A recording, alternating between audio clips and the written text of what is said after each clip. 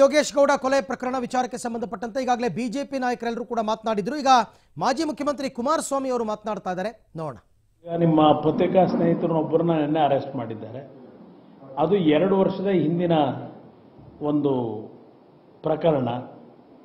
ಈಗ ಒಂದೊಂದು ಬಾರಿ ಕೆಲವು ಪ್ರಕರಣಗಳನ್ನು ಪುನಃ ಅದನ್ನು ಅದು ಕ್ಲೋಸ್ ಆಗಿರತಕ್ಕಂಥದ್ದನ್ನೇ ಮತ್ತೆ ಹೊರತೆಗೆದು ಆ ನಿಜಾಂಶಗಳನ್ನು ತರಲಿಕ್ಕೆ ಹೊರಟಾಗ ಪ್ರತಿಯೊಬ್ಬರು ಹೇಳ್ತಕ್ಕಂಥದ್ದು ರಾಜಕೀಯ ಪ್ರೇರಿತ ಅಂತಲೇ. ಇದು ರಾಜಕೀಯ ಪ್ರೇರಿತ ಅಂತಕ್ಕಂಥದ್ದನ್ನು ಶೆಲ್ಟರ್ ತಗೊಳ್ಳಿಕ್ಕೆ ನಾವೆಲ್ಲ ಹೋಗ್ತೀವಿ ರಾಜಕಾರಣಿಗಳು.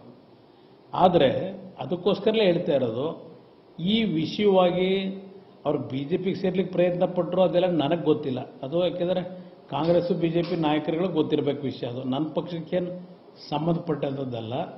ಆದರೆ ಇವತ್ತಿನ ಈ ಒಂದು ಪ್ರಕರಣದಿಂದ ಇದು ಕಾಂಗ್ರೆಸ್ನವರು ಇದು ರಾಜಕೀಯ ಪ್ರೇರಿತ ಅಂತಕ್ಕಂಥದ್ದು ಇಲ್ಲ ಬಿ ಜೆ ಪಿಯವರು ಈಗ ನೋಡಿ ಸತ್ಯಾಂಶ ಹೊರಗೆ ಬರ್ತಿದೆ, ಇವ್ರದ್ದೆಲ್ಲ ಏನು ಎಂತಕ್ಕಂಥದ್ದು ಅಂತಕ್ಕಂಥ, ಅವ್ರು ಹೇಳ್ತಕ್ಕಂಥದ್ದು, ಇದು ಈಗ ಶುರುವಾಗುತ್ತೆ ಈಗ. ಆದರೆ ನಾನು ಅದಕ್ಕೆ ಅಧಿಕಾರಿಗಳು, ತನಿಖಾಧಿಕಾರಿಗಳೇನಿದ್ದಾರೆ, ಅವರು ಯಾವುದೇ ಪ್ರಭಾವಕ್ಕೆ ಒಳಗಾಗದೆ ಅಂತ ತನಿಖೆಯನ್ನು ಮಾಡಲಿ ಅಂತಕ್ಕಂಥದ್ದನ್ನು ಆಗ್ರಹಿಸ್ತೀನಿ. ಓಕೆ, ಮಾಜಿ ಮುಖ್ಯಮಂತ್ರಿಗಳಾದಂತಹ ಕುಮಾರಸ್ವಾಮಿ ಅವರು ಕೂಡ ಇದೇ ವಿಚಾರಕ್ಕೆ ಸಂಬಂಧಪಟ್ಟಂತೆ ಮಾತನಾಡಿದ್ದಾರೆ. ಅಂದರೆ ವಿನಯ್ ಕುಲಕರ್ಣಿ ಆಗಿರಲಿ, ವಿಜಯ್ ಕುಲಕರ್ಣಿ ಆಗಿರಲಿ, ಯಾರೇ ಆಗಿರಲಿ ಸಿ ಬಿ ಐ ಅಧಿಕಾರಿಗಳು ಪ್ರಭಾವಕ್ಕೊಳಗಾಗಬಾರದು.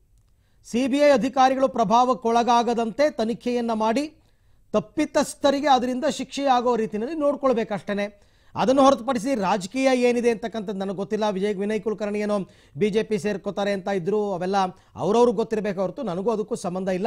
ಬಟ್ ಯಾರು ತಪ್ಪನ್ನು ಮಾಡಿದ್ದಾರೆ? ಕಾನೂನಿಗಿಂತ ದೊಡ್ಡವರು ಯಾರೂ ಇಲ್ಲ. ಕಾನೂನಿನ ಮುಂದೆ ದೇಶದಲ್ಲಿ ಎಲ್ಲರೂ ಕೂಡ ಒಂದೇ.